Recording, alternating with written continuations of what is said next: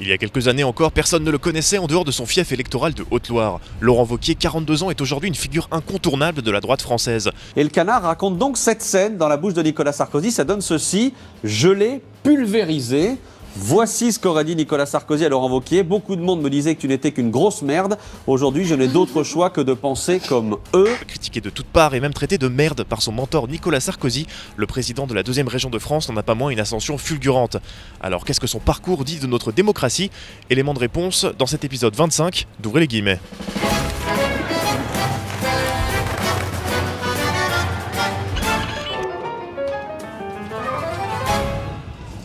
Mon mec à moi, il me parle d'aventure, et quand elle brille dans ses yeux, je pourrais y passer la nuit. Il parle d'amour comme il parle des voitures, et moi je le suis où il veut, tellement je crois tout ce qu'il me dit. C'est aussi ça la politique, raconter des histoires, pas seulement l'histoire avec un grand H, hein, mais aussi sa petite histoire. C'est ce qu'on appelle du storytelling, raconter une histoire qui soit cohérente avec ce qu'on propose et avec les idées pour lesquelles on se bat. Et aujourd'hui, on va vous parler d'un storytelling parfaitement rodé, celui de Laurent Vauquier.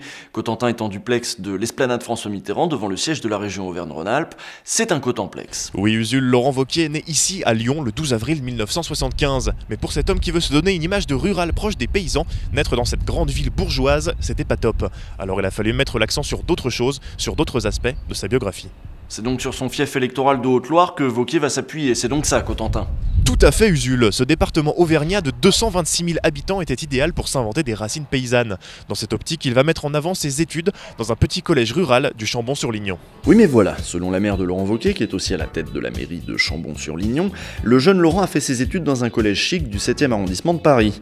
Le soir, il rentrait dans l'appartement parisien de la famille, un logement qui donnait sur les jardins de Matignon. C'est vrai que pour les électeurs, la petite bourgeoisie parisienne, ça sonne moins bien que le petit gars de la campagne. Alors peut-être est-il allé un peu dans les deux collèges, mais toujours est-il qu'il est intéressant de voir que c'est le collège de province qu'il met en avant. Le Monde note également en 2007 que Vauquier s'est présenté comme le fils d'un employé de banque. Alors ça c'est pas mal, on pense au guichetier, au petit guichetier, puis à Arlette Laguillet, hein Sauf que quand on fouille un peu, on s'aperçoit que son père était en fait directeur d'une filiale du Crédit Agricole. Ça fait au moins un truc d'agricole dans la biographie de Laurent Vauquier. Vous l'aurez compris, pour le président des Républicains, il ne s'agit pas tant de raconter son histoire que de la créer de toutes pièces. Et cette construction d'un Vauquier paysan, elle ne passe pas que par son histoire personnelle, elle passe aussi par sa façon d'être, sa façon de se présenter. Ça aussi, c'est du storytelling. Impossible de parler de Vauquier sans parler de sa parka rouge qu'il porte systématiquement dès qu'il sait qu'il sera entouré de journalistes. Cet accessoire lui permet déjà d'être repéré facilement parmi la masse des costumes noirs et gris qui l'entourent, mais également de se donner l'image d'un homme qui s'habille plus détendu, qui fait plus proche du peuple. Cette veste fait partie de l'histoire que Laurent Vauquier veut raconter à ses électeurs, celle d'un bon gars sans chichi, proche des gens. C'est d'ailleurs sans doute dans cette optique que Laurent a fait appel à un coach vocal pour parfaire son accent altiligérien. Altiligérien, ça veut dire de Haute-Loire, et c'est très joli. Vous avez invité beaucoup de monde sur ce plateau. Et la caractéristique commune de la quasi-totalité de vos invités, c'est qu'ils habitent tous à Paris ou dans sa proche périphérie.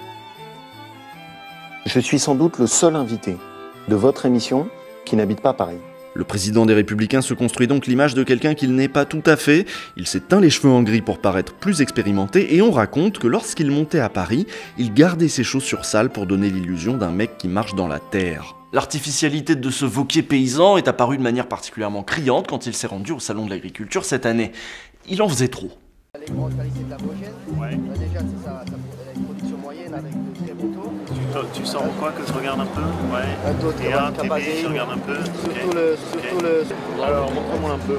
T'es à combien là en poids C'est 884 là. Ah, ça c'est une merveille ça. Hein Alors ça vous connaissez pas vous Je crois que ce mec veut que les paysans votent pour lui. Laurent Wauquiez fait bien davantage que d'inventer son histoire. Il se met en scène en tant qu'homme politique et ce, jusque dans sa vie privée. Dans un reportage d'envoyé spécial daté de 2016, il s'est même mis en scène avec sa petite famille, une pratique euh, assez rare encore dans la vie politique française, à tel point que la journaliste qu'il rencontrait ne s'est pas privée de s'en étonner. Quand on a décidé de faire son portrait, on n'imaginait pas qu'il ouvrirait ces portes-là. Celle de chez lui, de l'intimité d'un dimanche en famille. Ici, là Oui, comme ça. Comme ça, là Ouais. Ok, ça marche. Et pourquoi c'est carré, là, mon truc, là, alors que ça devrait pas l'être, ça, si Laurent Vauquier est marié, père de deux enfants, et il a envie de le montrer. Ça rejoint ce qu'on vous disait la semaine dernière sur la mise en scène du politique. Pour peu, on pourrait presque y voir une cohérence entre les différents épisodes d'Ouvrez les guillemets.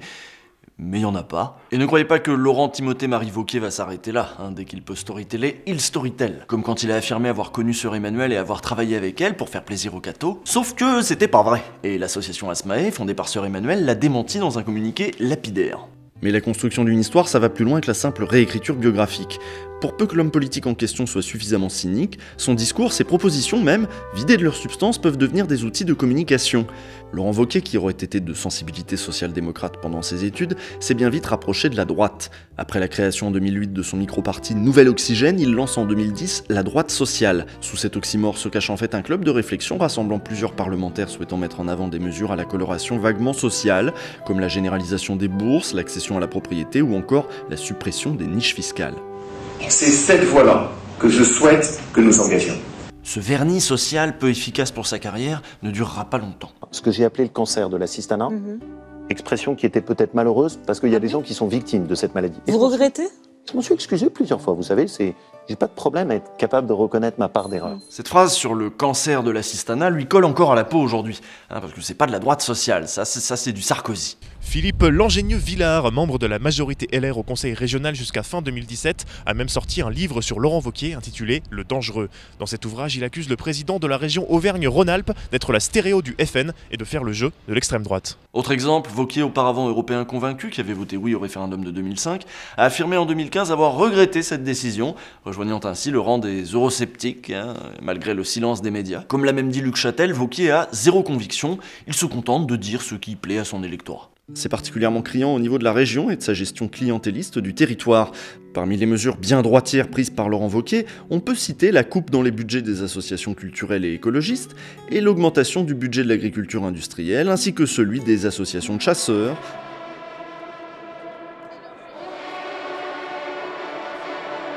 la suppression de plusieurs parcs nationaux et la suppression des financements pour plusieurs ONG. Ça fait un an que je gère ma région.